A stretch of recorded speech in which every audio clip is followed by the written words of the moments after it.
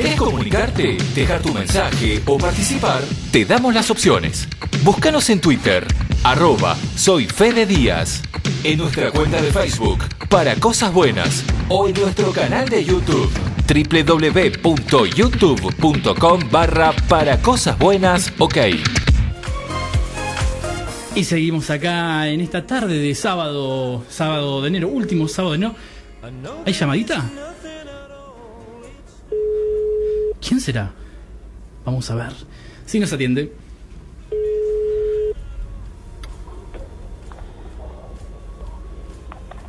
Hola, Hola, Zulma. hola, Hola, Zulma, ¿me escuchás? sí, Zulma, ¿cómo estás? Te hablo de la radio. Quería saber si podía hablar un ratito con vos para ver cómo estabas, cómo te encontrabas después de tanto tiempo. Mira, me estoy unas entradas buscar y me para ver una hora que están dando en la calle Corrientes. Y cada prueba tengo que buscar las entradas. ¿Qué obra vas a ver, Zulma? Eh, la última que se quedó al lado de San Martín, de hombre que se traviste de mujer. Ah, Casa Valentina. Muy buena obra. Esa. La de Me Muscari. dijo, me, dijo, me dijo que es muy buena, sí. Me invitaron para ver extravaganza también. Qué bueno eso. ¿Cuándo vas a ver Extravaganza, Zulma? Y puedo ver, sí, a ver si puedo ver las dos obras hoy.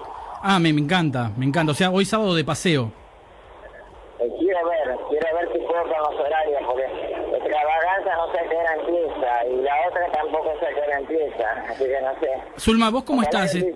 ¿Estás bien? Mal, porque me asaltaron eh, la semana pasada, mal, mal.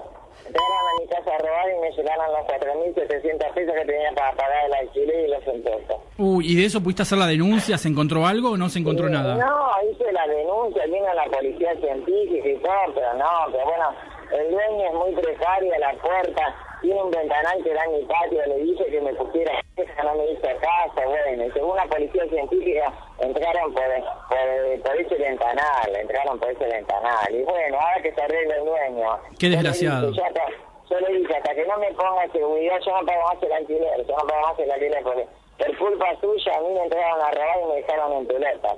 Claro, ¿y los perritos están bien, por suerte? No, por suerte sí. Ayer vino el peluquero canino, los prolijó, los dejó divinos. No, no, los perritos están bien, por suerte. Qué bueno eso, Zulma. ¿Y estás haciendo alguna presencia, algún trabajo como para poder...? No, no, ahora, ahora hablé con Muscari y a veces empecé a mirar para trabajar en teatro, aunque me pague poco, pues yo tengo que trabajar.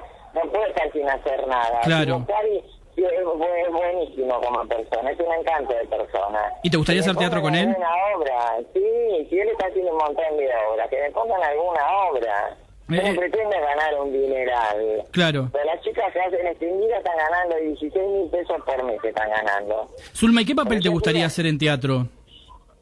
Ay, cualquiera, menos sea teatro con cualquiera, porque a mí el teatro me encanta. Yo ya debuté en teatro dos veces ya. Es verdad. Eh, Soy malevata, tenés a los matos y santificado, casi el papel de una monja. Es verdad, estaba buenísima. Zulma Lobato con esta Los Mato, la verdad que fue una, una obra... Lás- fue en el, fue en 2009 en Mar del Plata. Lástima que terminó medio mal, pero fue muy linda obra. Hijo de puta nunca me pagó un peso.